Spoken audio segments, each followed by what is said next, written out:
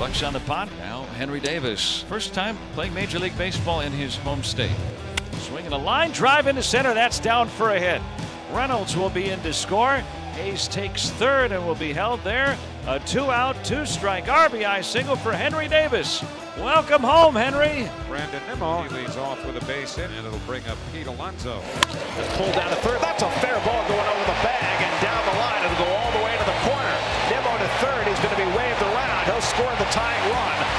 Alonso pulls him at second base with an RBI double, and the Mets get even. It's one to one.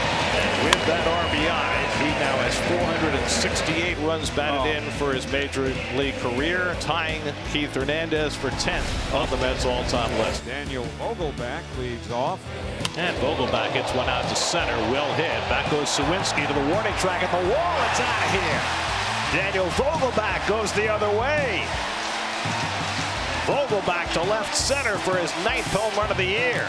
And the Mets go in front two to one. That's a double for Connor Joe. Now Ke'Bryan Hayes. Line to left field, a base hit for Hayes, and this will tie the game. And Hayes into second base with a double. He is red hot. His 44th RBI of the season. And the Mets' potential go-ahead run is now 90 feet away. Jeff McNeil, who's at the plate now. And McNeil lines one in left center for a base hit, and that'll bring home Lindor with the go-ahead run. And the Mets are back in front, 3 to 2. So here's Arauz, the nine-man switch hitter batting left. And Arauz cracks one to deep right field. Back goes Davis, back near the wall, and it's out of here. Jonathan Arauz with his first home run as a New York Met. Two-run shot to make it 5 to 2 New York. So the Mets have scored in each of the first four innings against Quinn Priester. So Francisco Lindor, with a steal of third, picks up his 20th stolen base. So it's a 2020 season for Lindor. Runners up the corners, nobody out. Jeff McNeil will be the batter. McNeil flicks one out to left. Lindor tags at third. Joe doesn't have a great arm. Lindor's coming home. Joe's throw is. It is now 6 to 2 New York. Mets have scored in each of the first five innings. First time in a home game they've done that in 19 years. Two out, nobody on. Brandon Nimmo.